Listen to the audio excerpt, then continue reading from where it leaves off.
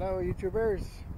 Well this is just a quick update to keep you abreast of everything that's going on.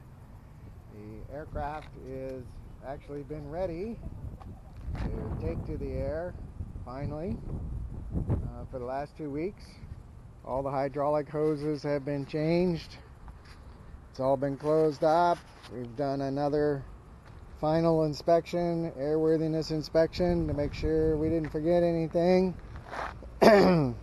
but the reason that it's not gone down the runway yet or taken off is because since that time, except for one day when I was actually busy with work, it has been blowing 15 to 20 and even higher than that in the afternoon. So uh, it's been a little windy for the first attempts down the runway and the first flight. I don't know if you can see the uh, windsock over there, but it's practically straight out. And it's still early in the morning. And then what's happening is the wind starts out at about 15, 12 to 15, and by afternoon it's at 25 to 30.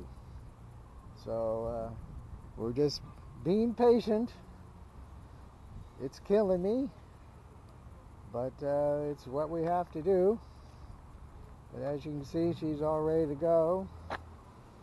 I uh, haven't cleaned off the hydraulic fluid from when we had all the brake lines and stuff break, but uh, we'll do that before we get in the air.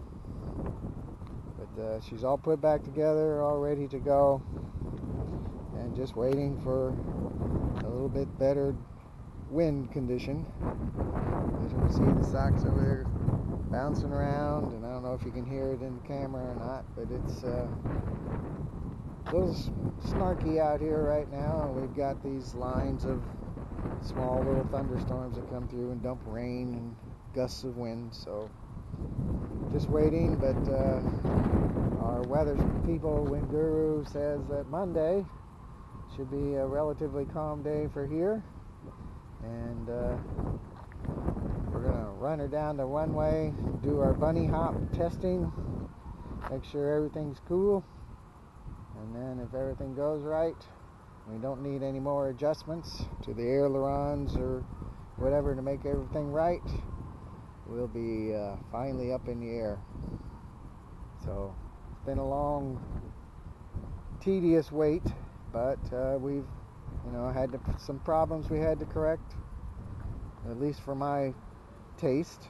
I mean, some people may have continued on with having those troubles, but uh, I uh, just don't feel right without uh, changing the, the lines from the plastic and getting everything to where I know that it's not going to fail prematurely on me. So anyway, that's where we're at. And uh,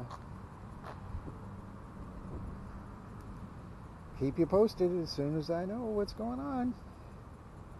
All right, take care. Have a good day.